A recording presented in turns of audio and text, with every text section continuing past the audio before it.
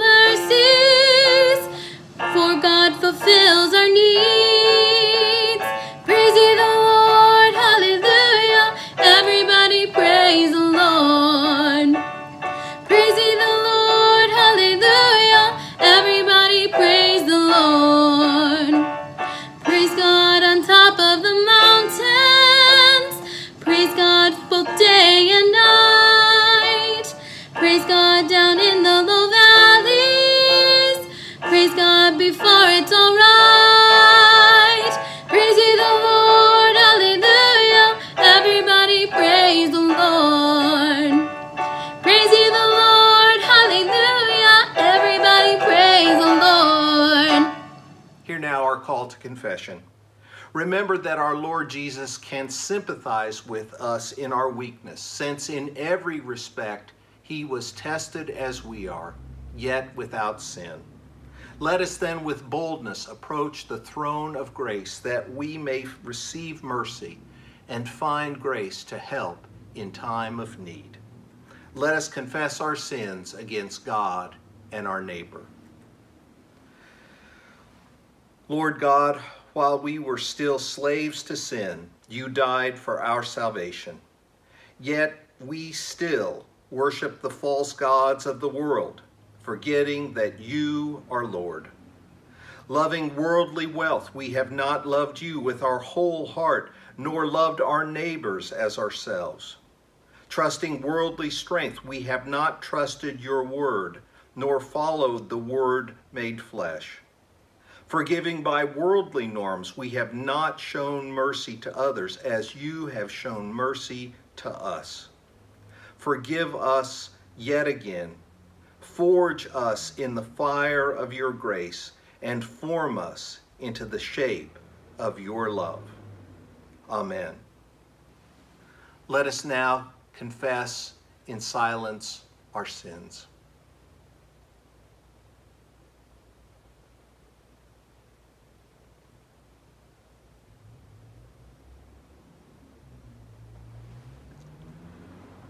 Receive now the declaration of pardon. The saying is sure and worthy of full acceptance that Jesus Christ came into the world to save sinners. He himself bore our sins in his body on the cross, that we might be dead to sin and alive to all that is good. Friends, believe the good news. In Jesus Christ we are forgiven. Let us join together in our prayer for illumination. Holy Spirit, as your word is read and proclaimed, pass among your people opening minds to enlarge our understanding, opening hearts to increase our love. In Jesus' name we pray. Amen.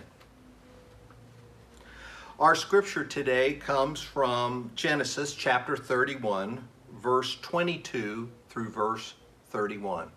So listen now for God's word as it speaks to you. The same night Jacob got up and took his two wives, his two maids, and his eleven children and crossed the ford of the Jabbok. He took them and sent them across the stream, and likewise everything that he had. Jacob was left alone, and a man wrestled with him until daybreak. When the man saw that he did not prevail against Jacob, he struck him on the hip socket, and Jacob's hip was put out of joint as he wrestled with him. Then he said, Let me go, for the day is breaking. But Jacob said, I will not let you go unless you bless me. So he said to him, What is your name? And he said, Jacob.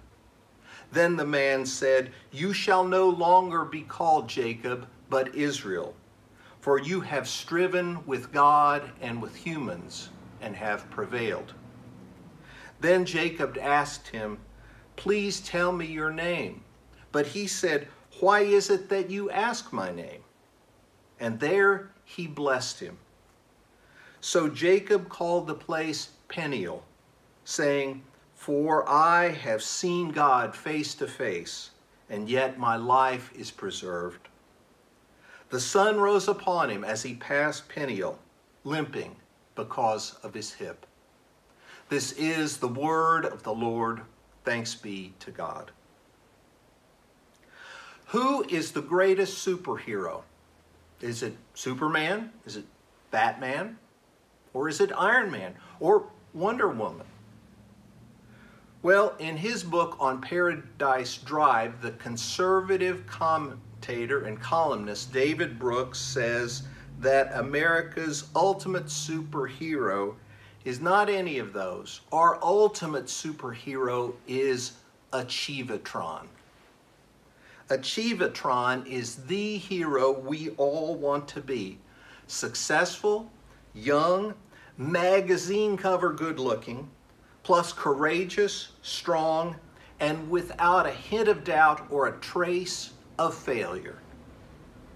According to Brooks, the American myth and our goal for us and our kids is to become Achievatron, where we are the best at everything, where we always win, and where our perfect lives contain absolutely no shadow of difficulty, darkness, defeat, or despair even though we all know that being fully human inevitably includes times and seasons of anxiety, exhaustion, isolation, failure, and frustration. We long for the inhuman, unattainable ideal of mythic American suburban perfection thank God we have scriptural smelling salts to bring us back to what is real and to what is surprisingly filled with grace. Thank God that while we may demand inhuman perfection from ourselves, our God never does. God doesn't wait for us to come to Him when we're perfect or only when everything is perfect. Thank heavens the opposite is true. God comes to us even though we're imperfect, sinful, lost. And God certainly doesn't wait a second to come to us when everything has gone to hell. Welcome to One Man's Nightmare. That's basically what our text is today. This text is the culminating event of one person's entire life project, trajectory, and character.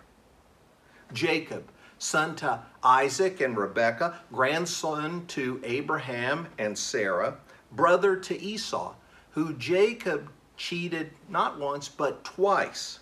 The first time talking Esau out of his birthright, and the second time tricking blind, elderly Isaac so Jacob could steal Esau's blessing again. That's good old Jacob, a real biblical success story. Fleeing for his life from the enraged Esau, who was out to kill him, Jacob headed east to work for Laban. Jacob married into Laban's family, joined the family business, and then Jacob proceeded to fleece his father in law. So, fleeing for his life again, this time from an, an enraged Laban, Jacob heads west, where Esau is waiting for him. So Jacob sends gifts ahead of him to pacify Esau. Then he sends even more gifts to further bribe Esau, to buy peace with him. Finally, Jacob sends his loved ones ahead of him, women and children first, to separate them from Esau's intended target all that Jacob had labored to get, by hook or by crook, his wealth, wives, children, slaves, and herds, everyone and everything now is gone.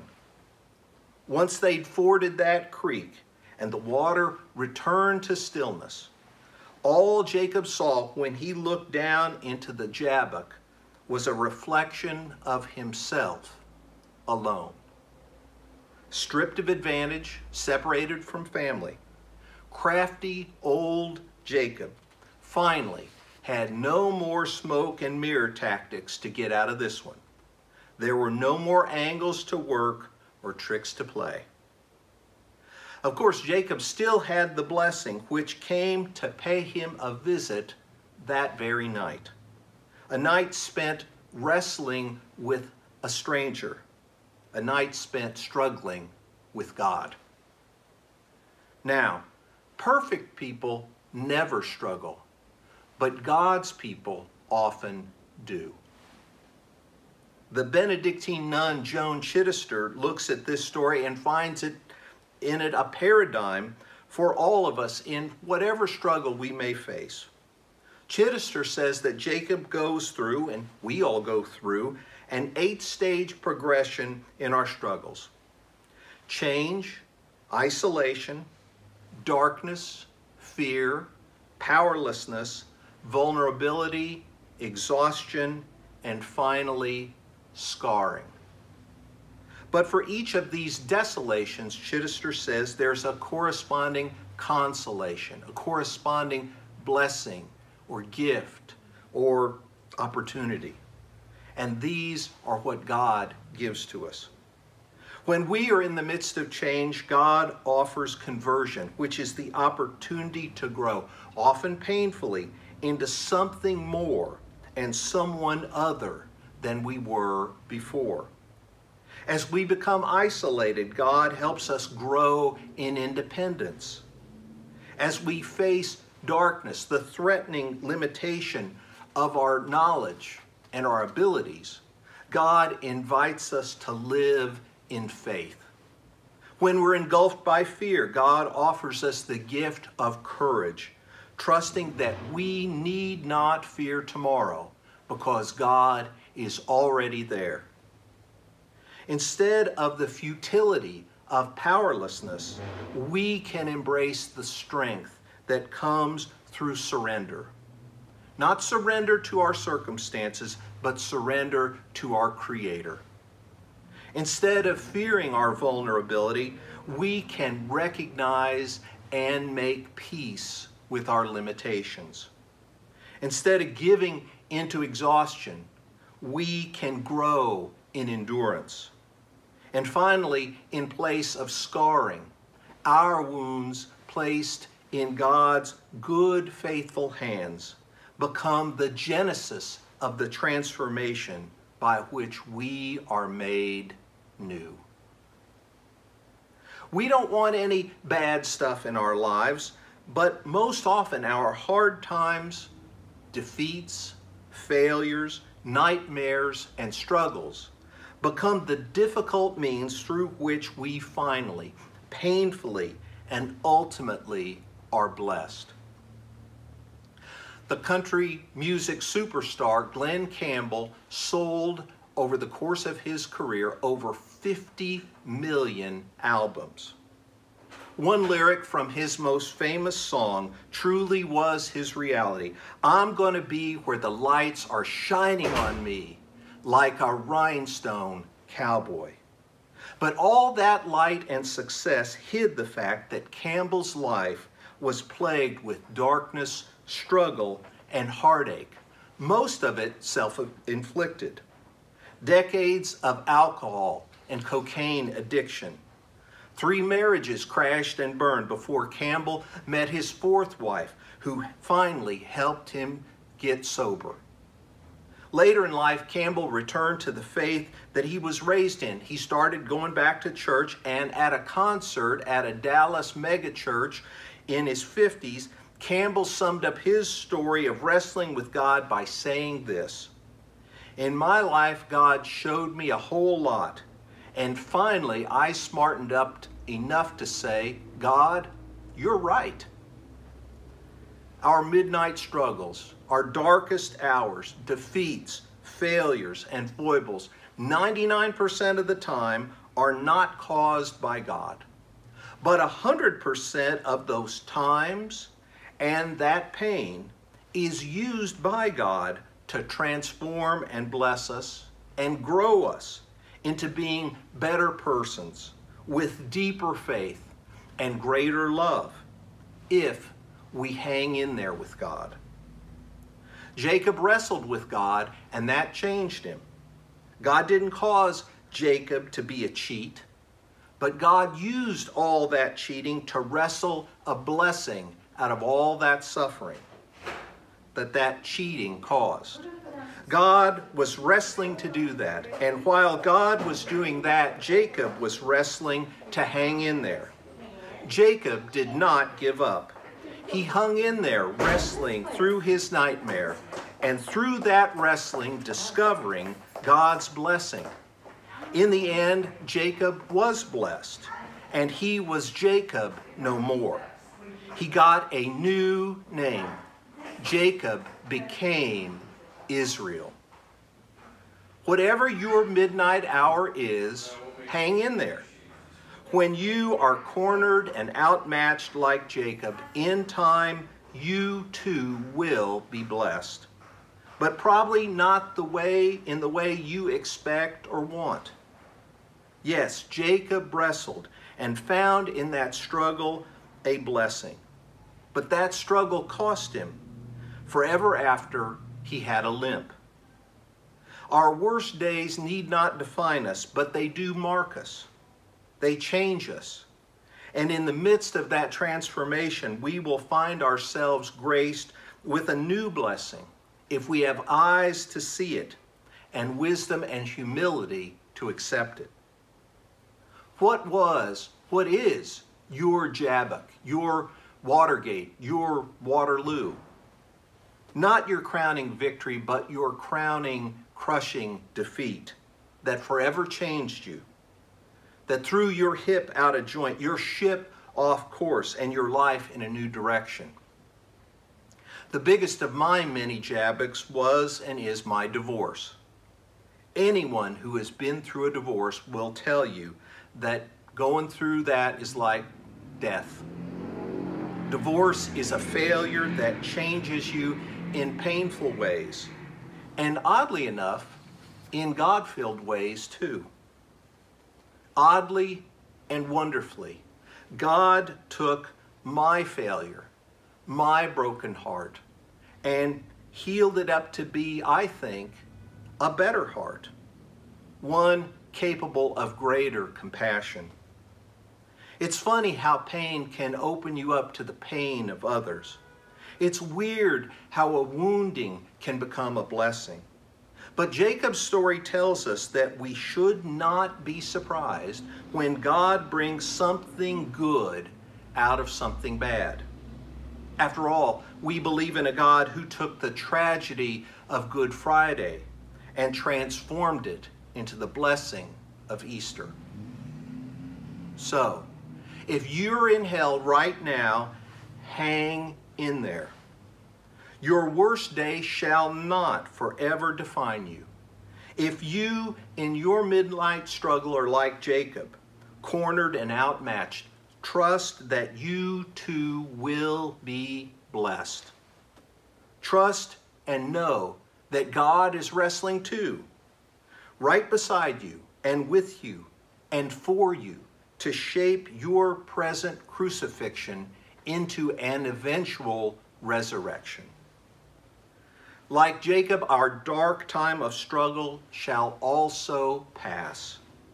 By grace, we shall all find ourselves on the other side of our midnights, resurrected and blessed, limping into the dawn.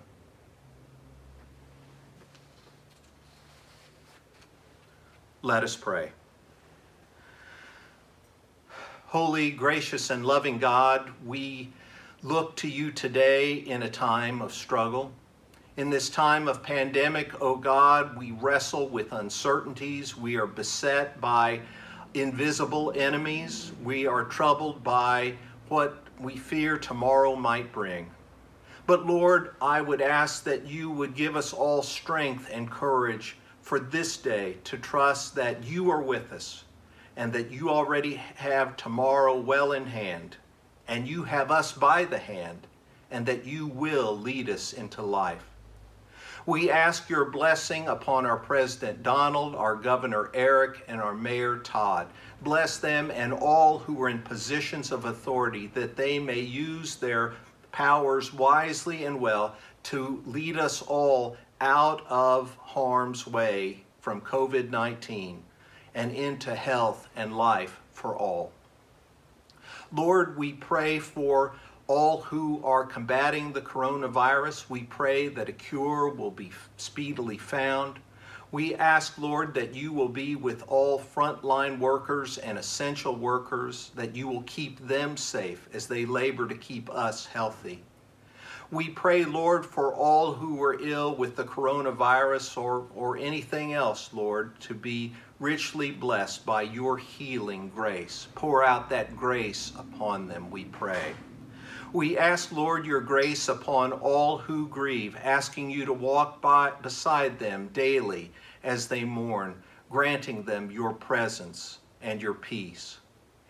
Lord, we pray for all those who are struggling this hour with faith, for those who do not know how to, they're going to make it uh, into the next day or even the next hour. Lord, stand beside them and lead them out of darkness and into light. Grant your blessing and help them discover your coming light of Easter, which shall dawn upon us all.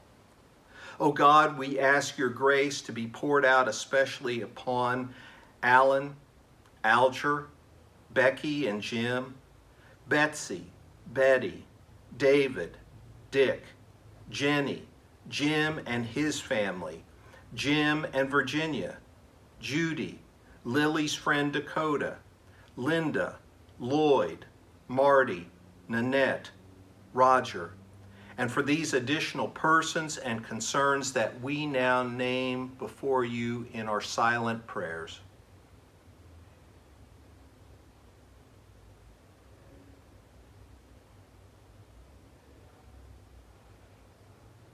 O oh God, we thank you for receiving our prayers and for receiving us as your forgiven, redeemed, and loved children.